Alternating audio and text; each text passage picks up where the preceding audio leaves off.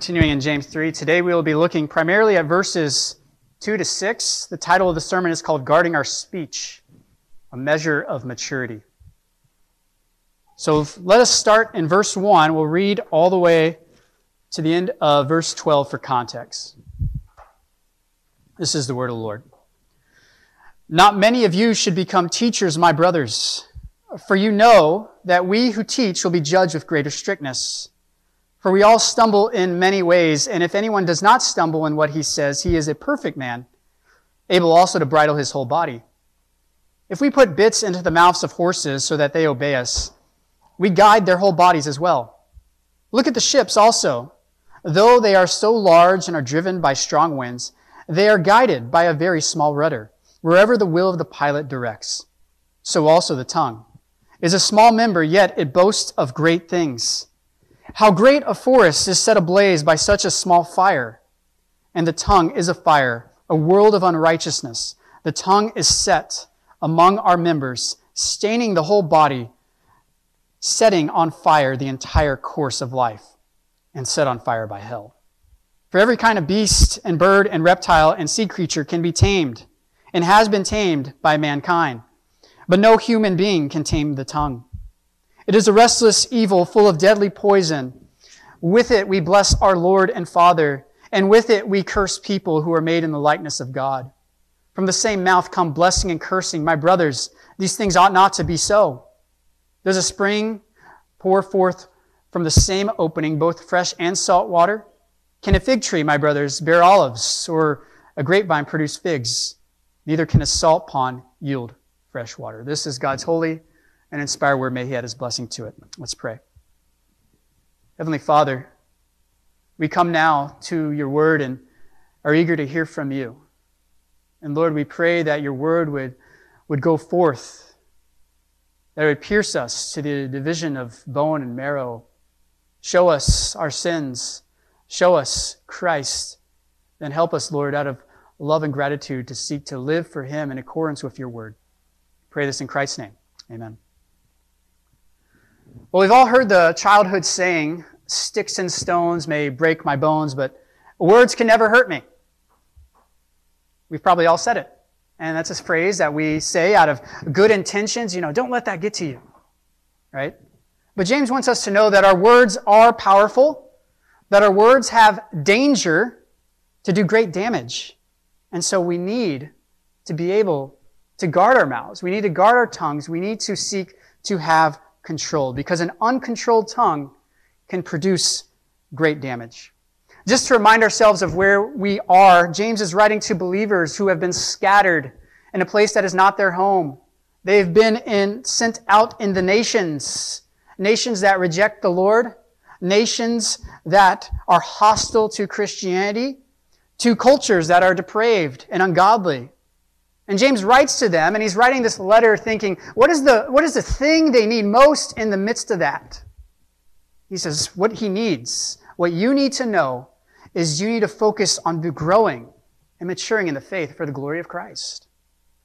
And so James gave his, his, his, his people a series of tests. He gives us a series of tests to see, are you growing?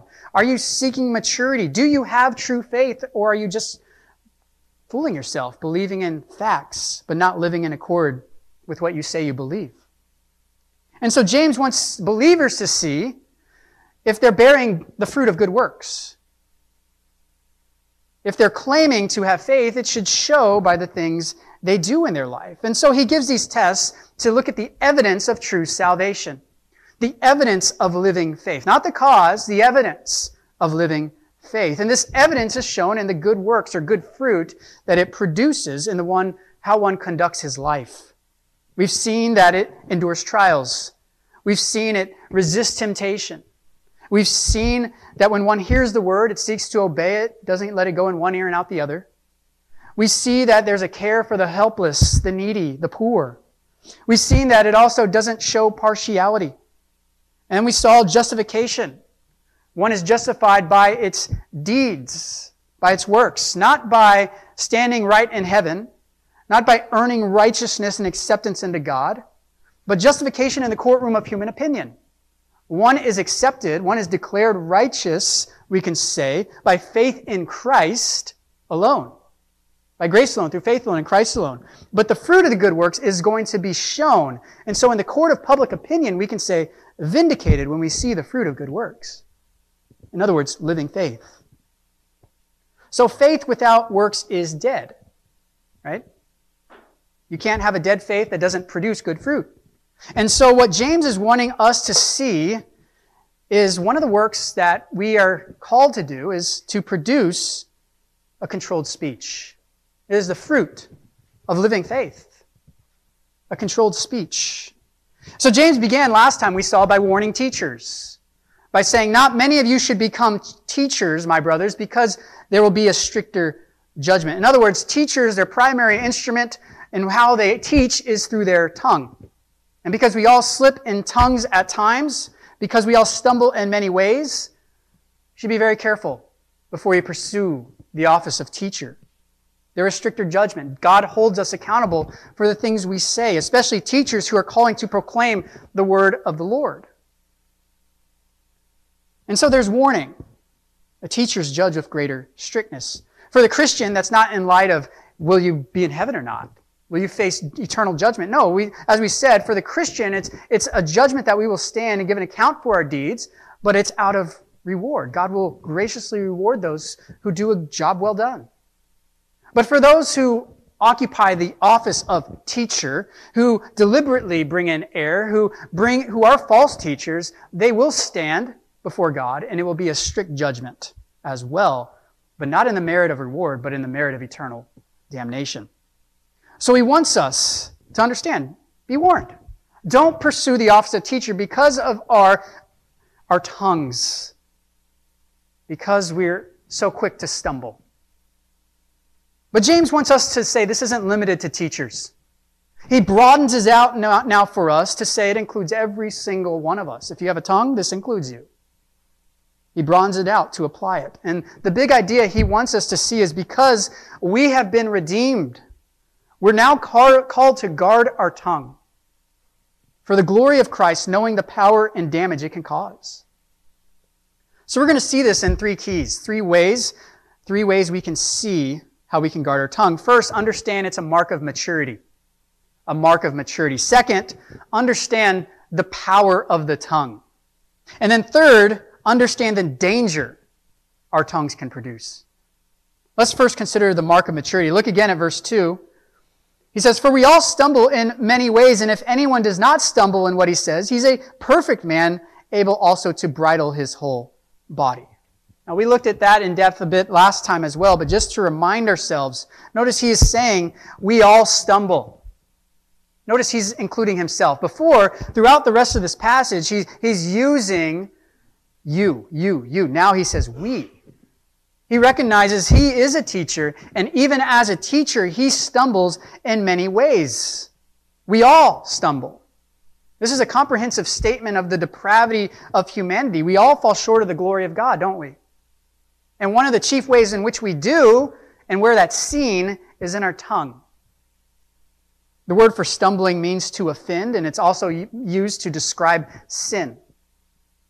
We all sin in many ways. We all need to be warned and James isn't saying, hey, I expect your readers to be perfect and sinless. And he's giving us a lot of good things we should do, a lot of fruit that we should exhibit. But he understands, I'm not demanding perfection here. There should be progress, and this is sanctification. We will fail at times. But is the progress of your life one of growth and sanctification? So he understands we are not perfect. We are not sinless. And this is why he gives the warning to teachers, but caution for us as well. We need to understand we all fail in many ways. James is understanding here, I'm not pretending as a teacher to have it all together. I'm just like you, he says. We all stumble. We all sin, me included. He's not saying this in a way to kind of minimize, right? Sometimes we can, we can uh, sin or we do something that's wrong and we say, well, we all sin. We're all sinners. We all stumble in many ways. Is it really that big of a deal? He's not doing it that way. What James is saying here is he's not minimizing it, but he's humbly aware of his own failings and stumblings in light of his tongue. In fact, James understands, remember in chapter 2, verse 10, he says, If you really fulfill the royal law according to the scriptures, you shall love your neighbor as yourself, you're doing well. Right? He upholds the law. But if you show partiality, you're committing sin and are convicted by the law as transgressors.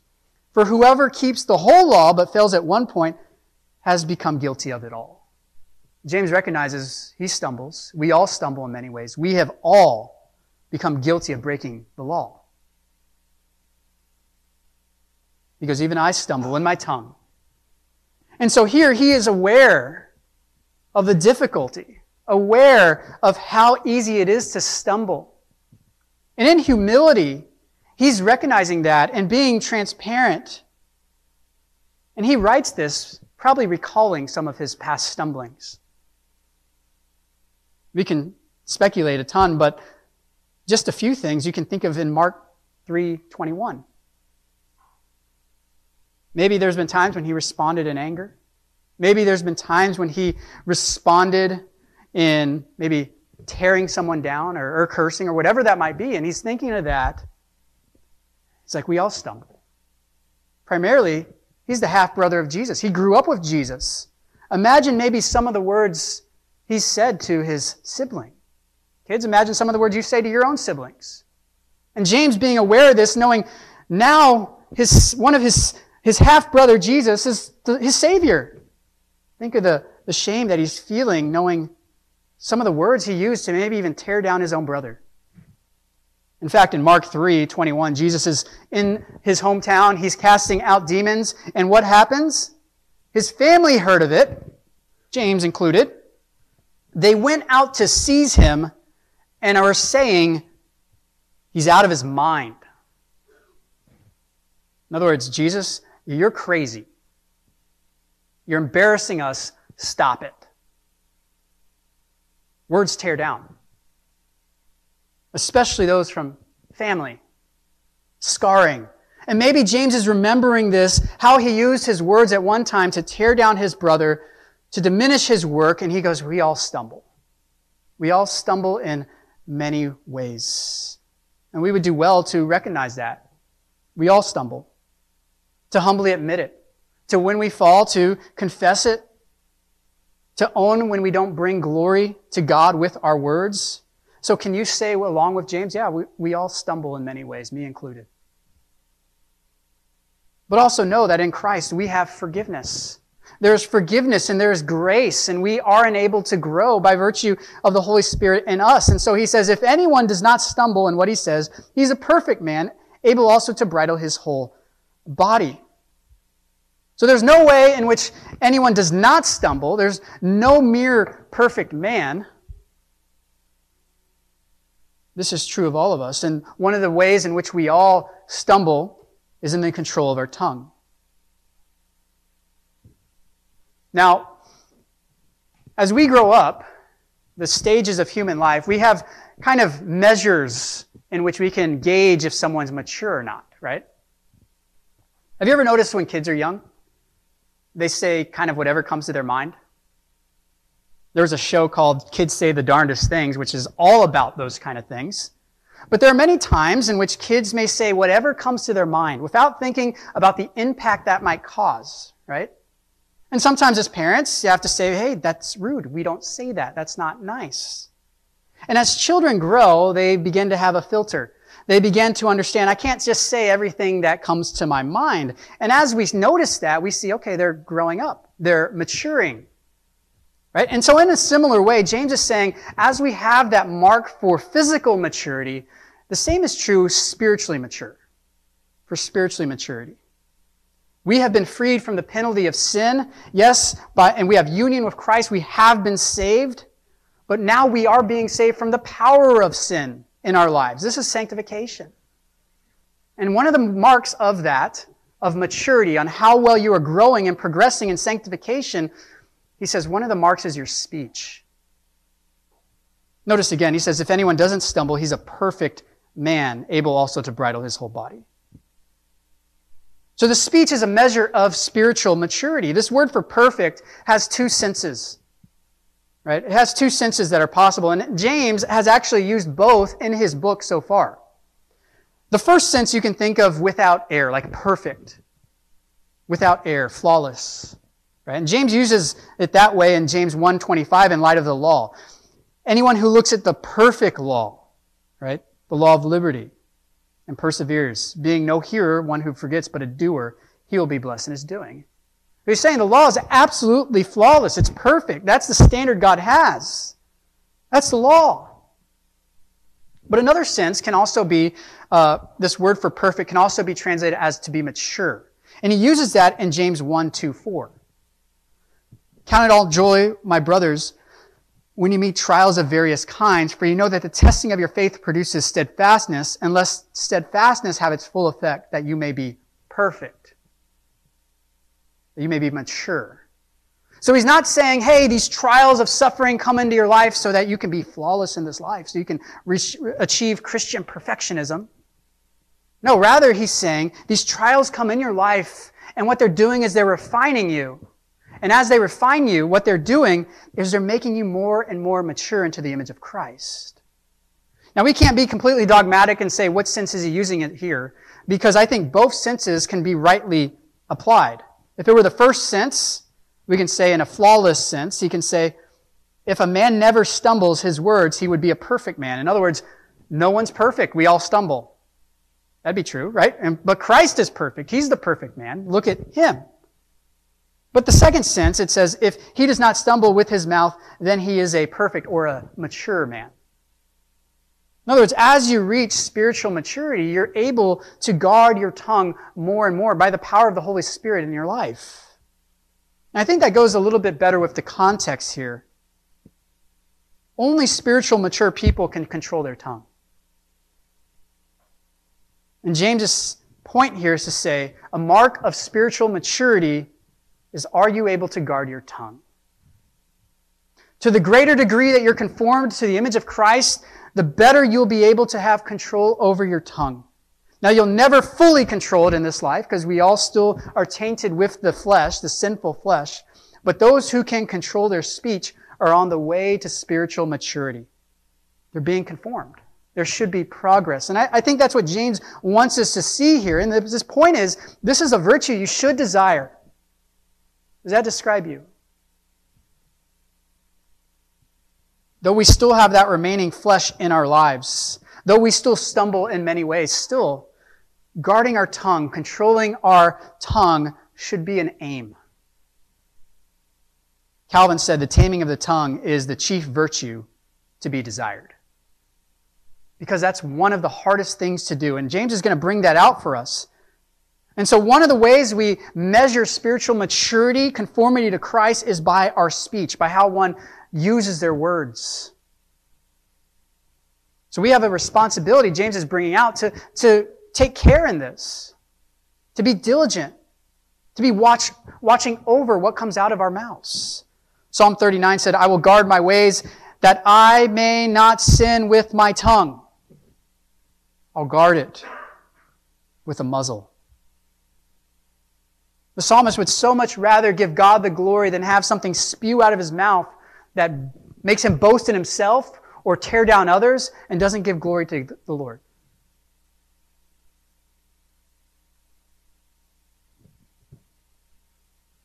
Now, we shouldn't hear that and say, okay, James, so I need to have control over my tongue. Okay, uh, that's good and wise. That's, that's good.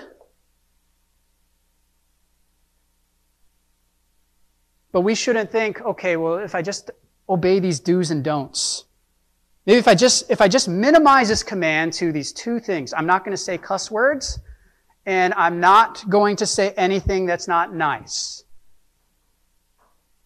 If you don't have something that's not nice, don't say anything at all. Right? Okay, I'm not doing those things, James, so I've achieved spiritual maturity. And he's saying, no, that's, that's, that's missing the whole point. Don't fool yourself just by thinking applying these things you don't do as a check mark for maturity. When James is saying guard the tongue, it should be a reflection of what's in the heart.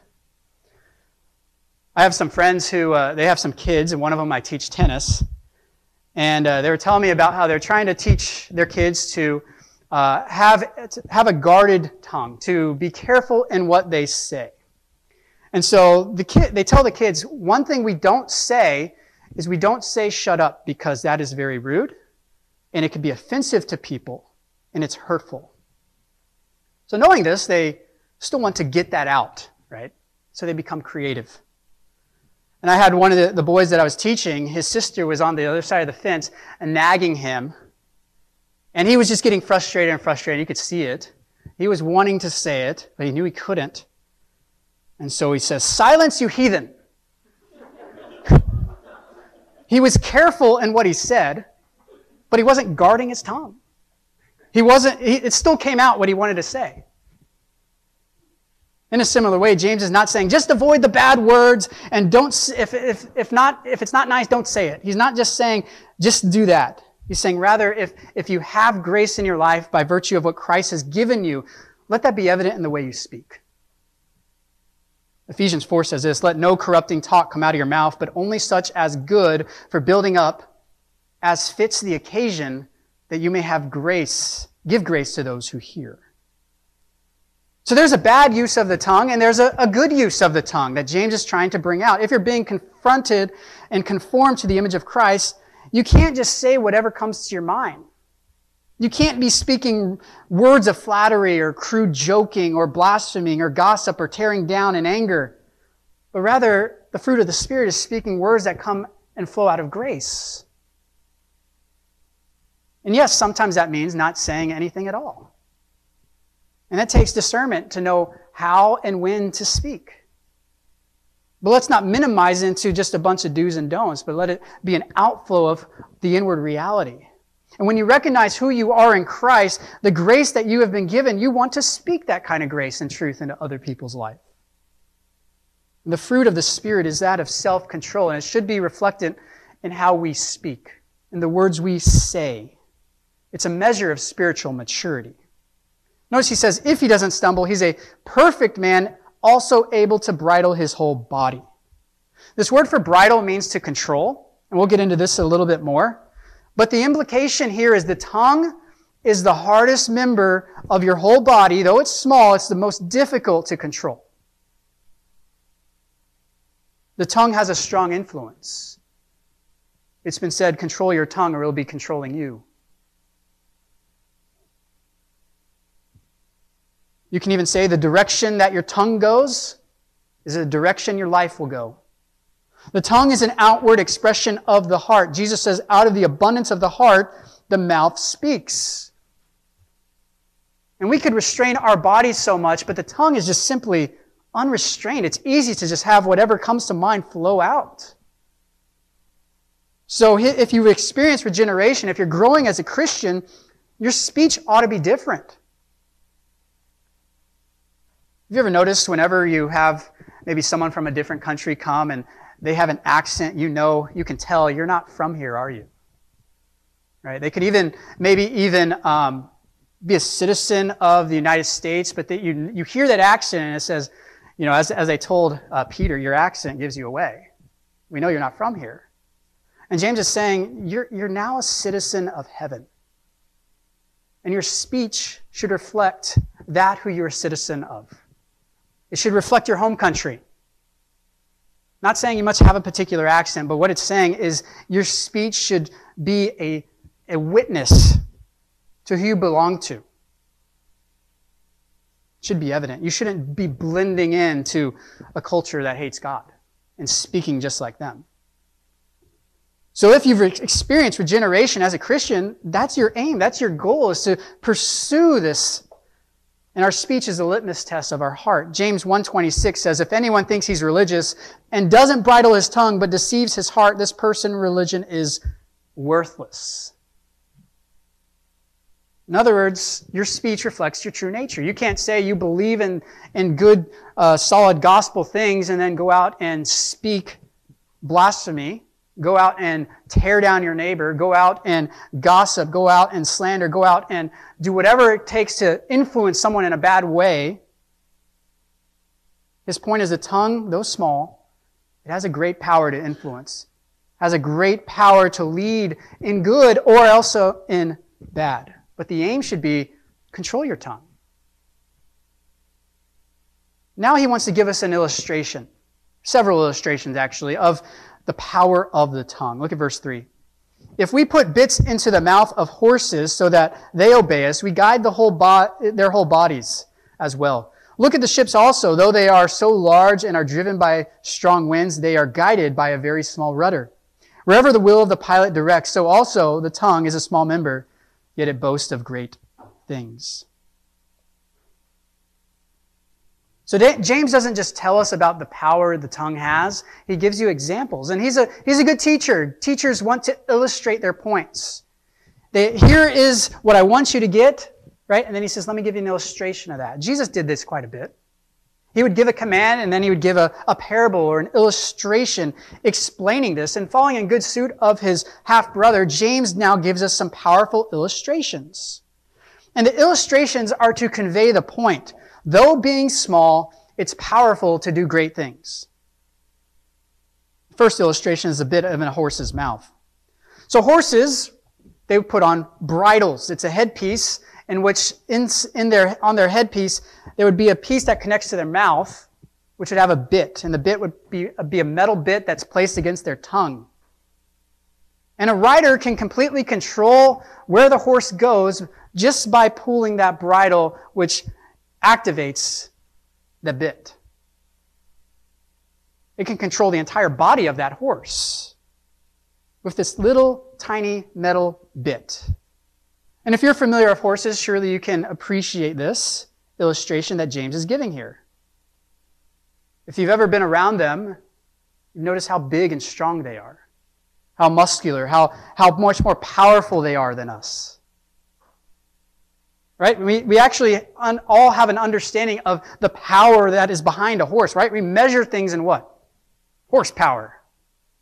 Right? And so these, these are things that we can see the strength of a horse, and, and yet a single bit can control the entire body of a horse. It's been said that a horse can pull three times its own weight, which means it can, it can pull up to 2,500 pounds or more. And farmers, recognizing this, wanted to harness this kind of power, and so they put bits in the mouth of the horses to have them do what they wanted, to plow a field. Contrary to popular belief, uh, I don't know if it's popular belief, but horses don't do that willingly. Right? They would just run around. But here, a bit would control the whole horse. And if they're able to control it with a tiny bit, they're able to control the whole body. When I was a kid, I got a chance to ride a horse. And I remember the instructor saying, okay, pull the reins this way if you want to go that way. Pull the reins this way if you want to go that way. If you want the brakes, just pull back. And I've never ridden a horse, and I was maybe 70 pounds at the time. you have this thousand pound horse. I'm less than a tenth of the size, yet I was able to make it go where I wanted it to go because of the tiny bit. The tiny bit of the whole controls the whole body. Uh, no matter the size of the rider, they can control this horse. And James's point is, though it's small, it has a powerful ability to control. And the same is with your tongue. If you can control it, you can control your whole body. He gives another example, and it's that of ships. He says, Look at the ships also. Though they are so large and driven by strong winds, they are guided by a very small rudder, wherever the will of the pilot directs. James points to the Great Sea. And the Jews, being on, on the Sea of Galilee, were very familiar with the sea, and actually, actually they feared the power of the sea much less uh, having these big ships. And in Acts 27, it says that these kind of ships could carry up to 270 passengers and tons of cargo.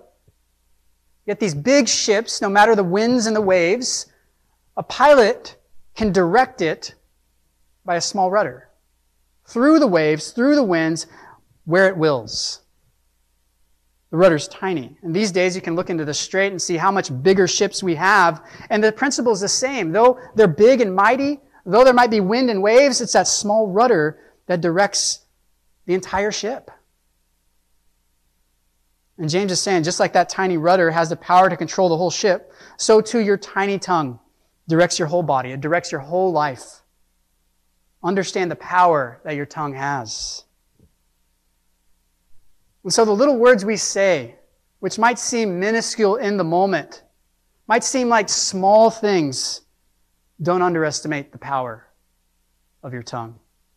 The tongue has the power to influence who we are. Implication, you need to try to control it, or else it will control you. A godly Christian discipline is to cultivate the control of the tongue. But James' point is this is extremely difficult. But as you seek God, you seek for grace and power for Him to help you control your tongue.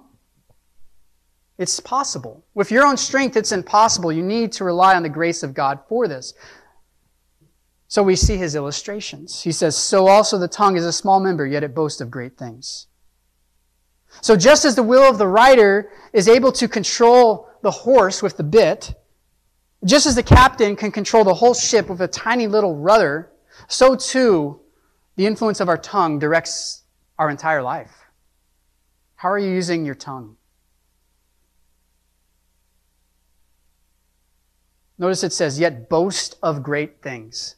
There is, not all boasting's bad, right? There is cause for good boasting, when you boast in the Lord, and there is cause for bad boasting. And the tongue is capable of doing both. The tongue can do great things. Its power is disproportionate to its size. Proverbs 18:21 says, "Death and life are in the power of the tongue." So a self-controlled tongue can do great things for the glory of God, but an uncontrolled tongue can do great harm. Proverbs 10:11 The mouth of the righteous is a fountain of life, but the mouth of the wicked conceals violence. Or Proverbs 25:11 A word filthy, fitly spoken is like apples of gold in a setting of silver. If the bit isn't in the mouth of the horse, you can't control the horse. If the rudder isn't functioning, you can't control the ship. It's going to lead to shipwreck. And in the same way, if you can't control the tongue, it's going to influence for bad. It's going to control your whole body and do great damage. The tongue, though tiny, has tremendous power. So our speech can be used for good. We can speak words of grace. We can build up. We can speak words of healing. We can encourage. We can speak truth and grace and love, or our speech can be used for bad. Foolish, insensitive words can lead to division, ruining of relationships. Marriage, words can leave scars and do great damage. They can cut deep. Just mentioning the word divorce to your spouse can do great harm. Avoid saying that. Words we say to our children can have lasting effects on their relationship. Do you recognize the power of your tongue to lead in a good way or to lead in a, bad way?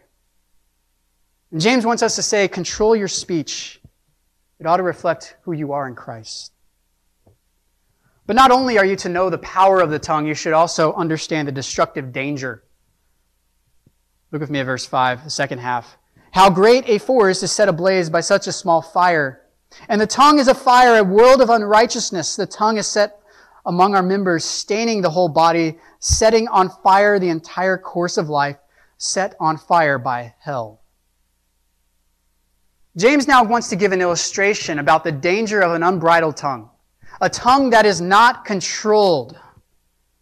And he gives a fascinating illustration with a forest fire. We're all familiar with forest fires. They can be deadly. They can be, do a lot of damage. Not long ago, I was coming back from preaching in Wyoming, and I was driving in the eastern side of the state, and it's very arid, and there was thunderstorms. And there was a lightning strike that started a fire, and you can just start to see the cloud get bigger and bigger and bigger. And as I got near it, you can start to see flames, and it was getting close to the highway where I was. You can see the embers jumping from tree to tree, and as it went, it would just ignite. And it was fueled by winds. And it was very scary to say the least. I was able to make it through before the fire jumped the street. But it was dangerous. It was scary to see just how fast a spark, a lightning strike, could start such a big fire. He's saying that's, that's just like your tongue. Your tongue is like that little fire. But it can expand, it can create great destruction. It starts small, but it can grow out of control and do unfathomable damage. Living in Southern California, we really understood the reality of this. Um, when I was in seminary, we didn't have snow days, we had fire days. And uh, I remember there was a couple times when we had to cancel school because the smoke was right there. There was one time I actually saw a cloud and I could see it from our apartment window. It was just north of Escondido. And what happened was there was a big, massive fire that was being fueled by what they call Santa Ana winds. And these winds are super strong and powerful, and they just feed the fire. And this area is very arid, very much like what Jerusalem is like these days. And so the people in Jerusalem could understand James's analogy very, very well. They were a culture that was, that emphasized farming. So they understood the amount of damage one small little spark could do to their entire year's crops, to their livelihood. And I remember seeing from my apartment that fire spread and in a day go about a thousand acres because of the Santa Ana winds. And to, and then it came about how it started. I rem- even remember there were firefighters who died in that fire. And as I went through the highway, they had this American flag afterwards that was a memorial to them. But it was a testimony to the amount of damage that that fire caused. Livelihoods were ruined, lives were lost. And how it started was just crazy to think about. Someone wanted to take a phone call while they're on the highway. So they pulled over the side of the road into tall grass, and the heat of the engine ignited the grass. With the winds, it fanned a massive fire. One small spark, massive blaze ensued. So forest fires are massive. They're, they are destructive, and they start, though, very small. It could be a cigarette bud that goes out. It could be a campfire that's not fully extinguished. It could be that lightning strike or just the car that stops over that's a little too hot. It starts tiny, but James's point is it multiplies, it grows, it ignites an entire forest ablaze, causing great destruction and death in its past. And, and James is saying that's what your tongue's like. That's what your tongue's like when it's unguarded, when that one little careless word goes out. How great a forest is set ablaze by such a small fire, and the tongue is a fire. One little misplaced word can set ablaze a fire. It can have drastic effects. The tongue, though small, can cause unthinkable damage. Proverbs 16:27 says, "The worthless man plots evil, and his speech is like a scorching fire." Using an unbridled tongue, having uncontrolled words, is like playing with fire in a straw field. God will judge those who start fires. Notice what else he describes us as a world of unrighteousness. So, despite being small, despite being a fire, it's a world of unrighteousness. Or another way you can translate this is a cosmos of iniquity. This word for cosmos isn't referring to the physical, literal world, the earth, but a system. A system of unrighteousness, a system of evil. And the tongue is the command center of the unrighteousness of man. We saw that last week in Romans, where it talks about there's none righteous, no, not one. It talked about the depravity, right? And it says the venom of asp is in their mouth. It's a deadly poison. There was a world of unrighteousness right in your mouth. John MacArthur said this There's no bodily part that has such far reaching potential for disaster as the tongue. It is a network that breeds evil.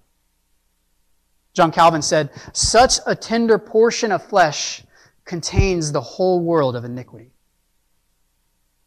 It is a world of unrighteousness left unchecked left unguarded. Notice what else it says the tongue is set among our members, staining the whole body. So, this one small body part that we have, if it's left unguarded, unchecked, stains the whole body. When you speak one uncontrolled word, it has a staining effect. This word for stain means to defile or to make corrupt. And James is playing off his analogy of the fire.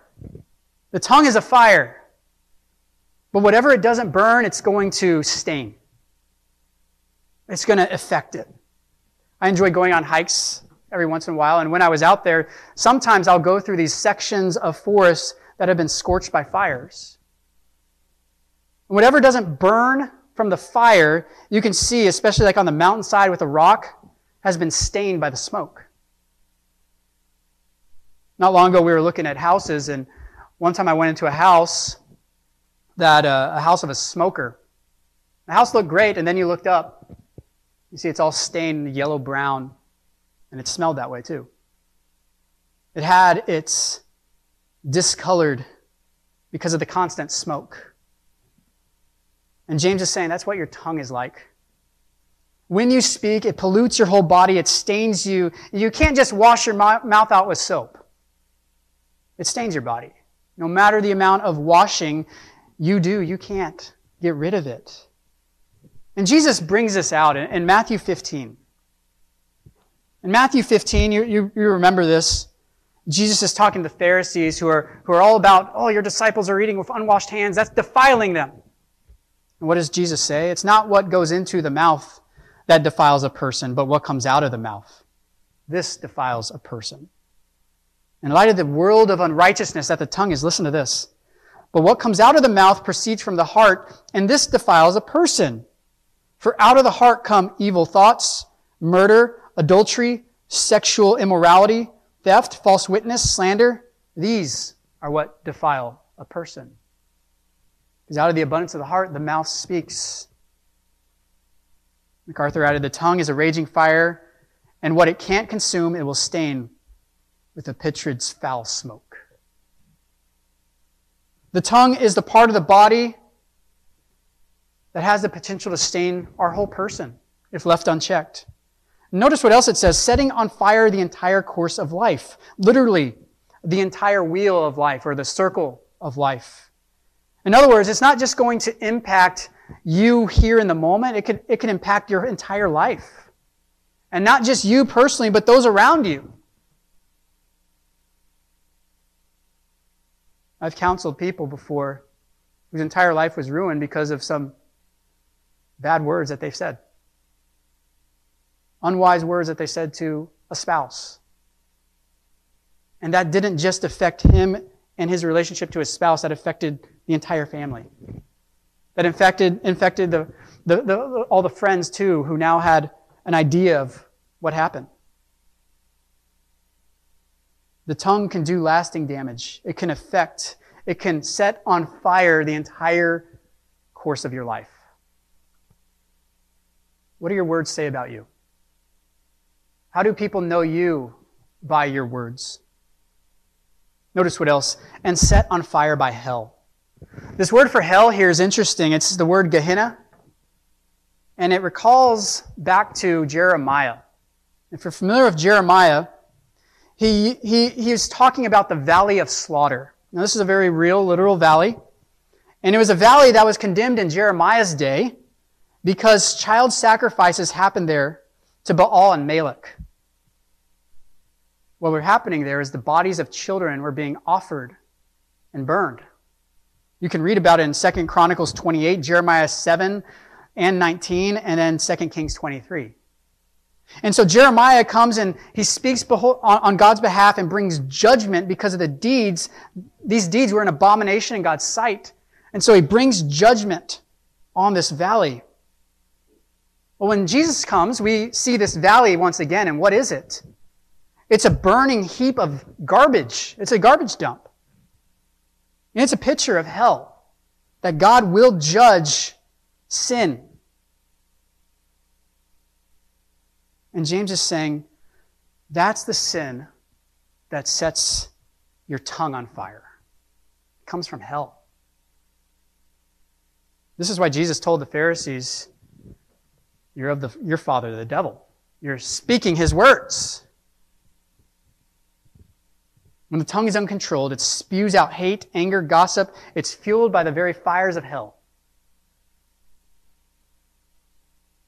So may we ever be aware of the destructive power and the danger of the tongue. So as we close, do you desire the mark of maturity in a controlled tongue? Do you see that your words have power for good or for bad? What are you using your words for? Do not overlook the damage that can happen that little words, seemingly little insignificant words can cause.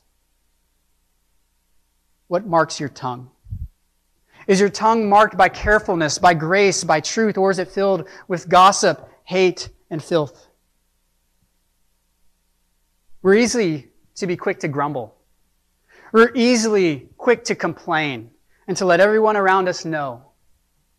To tell people what we really think when we're wronged without considering the damage it can cause. It's far too easy to stumble in our speech, and that's what James is wanting us to see. Maybe you're on your way to church today and you said something in the car that you regret.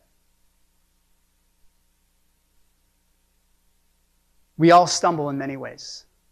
We all have slips of tongue. The thing is, for the believer, there's forgiveness, there's grace. And when we confess our sins to God and to one another, there's comfort. So know there is forgiveness. Jesus has saved you exactly from these sins.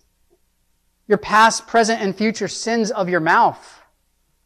This isn't a call to just say, okay, harness your tongue with your own strength.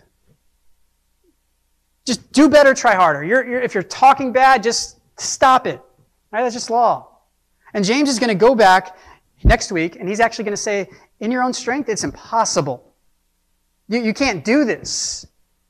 You can, you can tame all these other animals, but you're not going to be able to tame the tongue.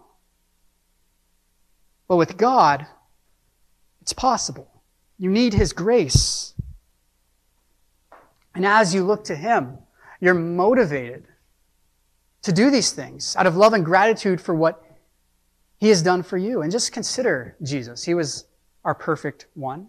Not only a perfect teacher, but our perfect representative who came specifically to redeem us, who was born on, under the law and he perfectly fulfilled it, but he suffered. He was mistreated. He had every reason to tear down people, but he didn't.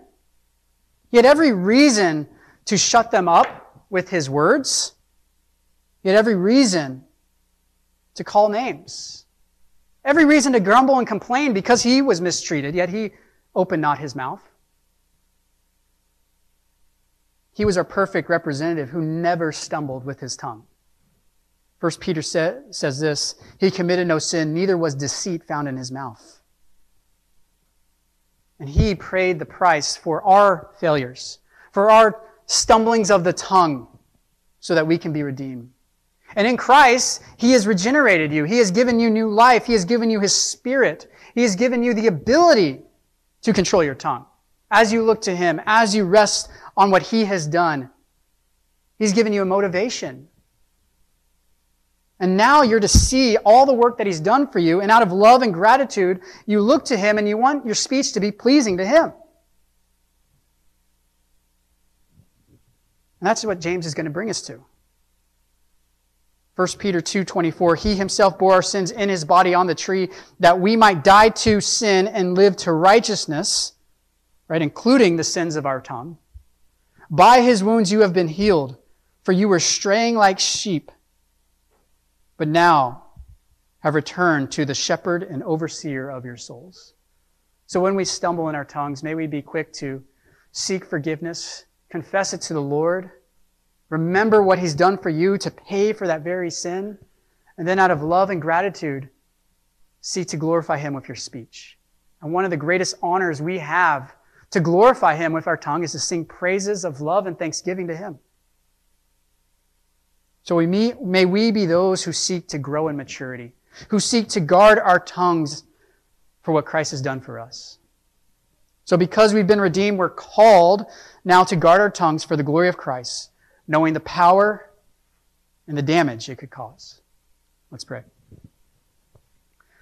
Heavenly Father, when we hear sermons like this, it's, it's far too easy to just beat ourselves up, to see our failings, and to just try to tell ourselves, do better, try harder. Lord, help us fully to look to Jesus, to see him as our perfect one, who never stumbled in tongue, who perfectly spoke words of life, and who did what was loving, even when he talked to people and confronted Pharisees. He spoke the truth out of love. Lord, help us to not only cherish what he's done and seek to glorify God with our tongue, but also seek to also speak the truth in love because of what he's done for us. Our perfect model as well.